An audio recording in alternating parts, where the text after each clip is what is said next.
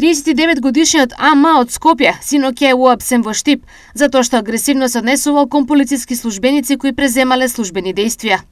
По комплетирање на случајот против АМА ќе биде поднесен соодветен поднесок.